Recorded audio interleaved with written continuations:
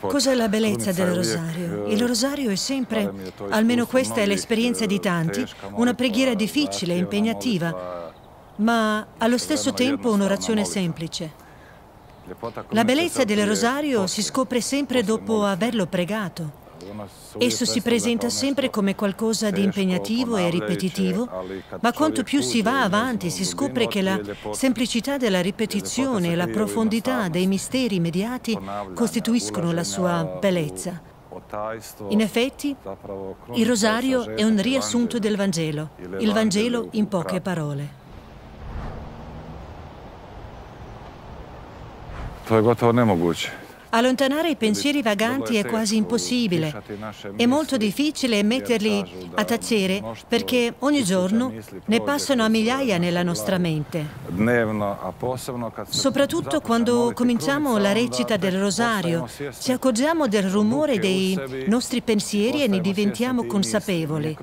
Non è il rosario che moltiplica i nostri pensieri, ma è attraverso questa preghiera che diventiamo coscienti della nostra distrazione. Ciò che è importante nella preghiera del rosario è imparare a praticarla. Non diamo importanza alle nostre distrazioni, alla frammentazione dei pensieri, ma solo concentriamoci sulla preghiera, sul mistero. Quando preghiamo dobbiamo pensare alla persona a cui è rivolta la preghiera alla Beata Vergine Maria. È lei che ci sta dinanzi. Non le servono certo le nostre 50 o 100 Ave Maria, ma quelle servono a noi, è noi che ci distraiamo, che disperdiamo i pensieri. È attraverso la ripetizione che riusciamo a prendere coscienza che stiamo rivolgendoci proprio alla Madonna. Perché la ripetizione serve solo a noi.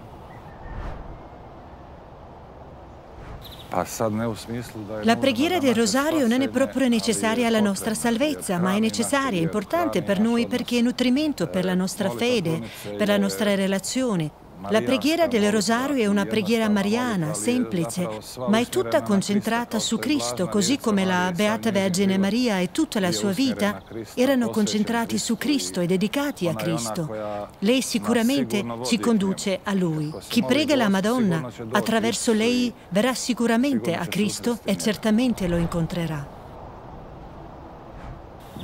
Grazie a Dio, grazie anche a voi. Che Dio vi benedica tutti.